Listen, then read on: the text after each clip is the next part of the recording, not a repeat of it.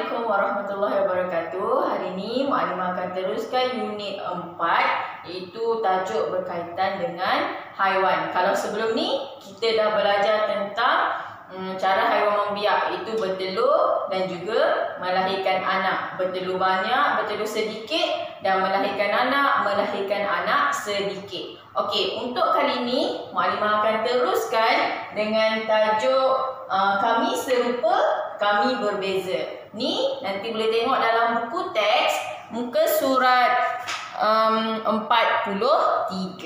Okey, kami serupa, kami berbeza. Jadi sini pada tajuk ni kita akan belajar tentang anak serupa dengan induk. Induk ni maksud dia mak dia, ayah dia. Ha, macam tu. Okey, contoh anak yang lahir-lahir tu serupa dengan mak ayah dia ataupun induk adalah lembu, badak air, beruang, harimau dan juga belalang. Ni antara contoh haiwan yang serupa dengan induk ataupun mak ayah dia. Jadi, yang kami berbeza pula adalah anak tidak serupa dengan induk ataupun mak ayah dia. Contoh katak.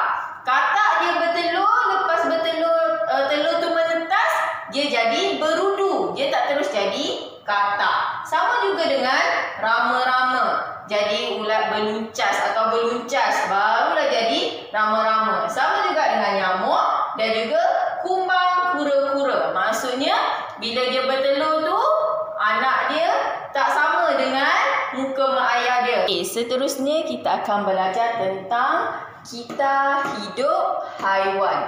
Okey, kita hidup haiwan ni Mualimah bagi contoh tentang kata. Kalau tengok buku teks pun boleh tengok muka surat 45 iaitu kita hidup haiwan tentang kata. Okey, kata dia bermula daripada telur. Telur dan seterusnya kepada berudu, seterusnya anak kata dan seterusnya kata dewasa.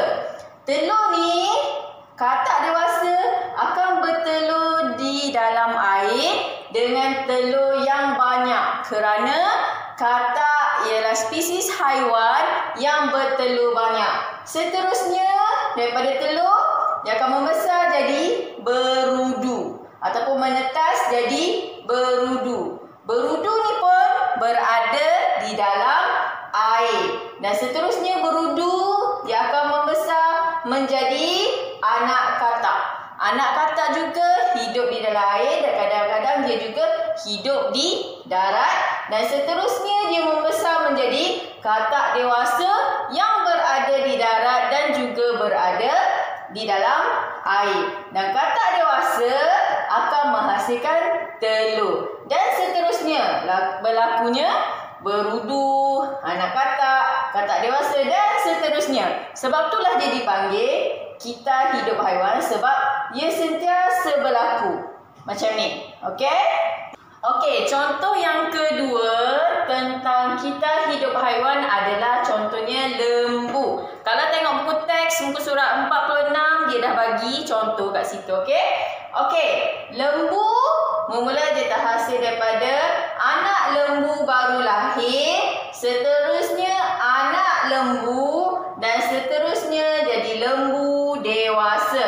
Daripada lembu dewasa, dia akan lahirkan balik anak lembu baru lahir, seterusnya jadi anak lembu dan lembu dewasa dan dia akan berlaku berterusan begini dan ia dinamakan kitaran hidup lembu. Bermula daripada anak lembu baru lahir, seterusnya anak lembu, seterusnya jadi lembu dewasa dan lembu dewasa akan menghasilkan balik anak lembu baru lahir. Seterusnya Mualimah bincang balik yang kita dah belajar minggu lepas tentang cara haiwan membiak. Okey, sebelum ni kita dah belajar cara haiwan membiak iaitu bertelur dan juga melahirkan anak. Bertelur ada dua, iaitu bertelur banyak dan bertelur sedikit. Contoh haiwan yang bertelur banyak adalah kupu-kupu, katak, ikan, semut, kura-kura.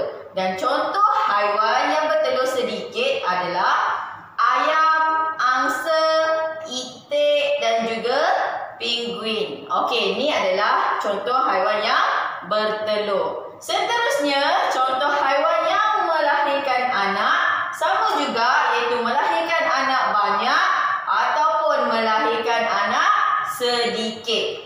Contoh haiwan yang melahirkan anak banyak adalah kucing, dan juga landak. Seterusnya, contoh haiwan yang melahirkan anak sedikit, gajah, panda dan ikan lumba-lumba. Jadi Malimah harap awak boleh ingat balik apa yang kita belajar minggu lepas.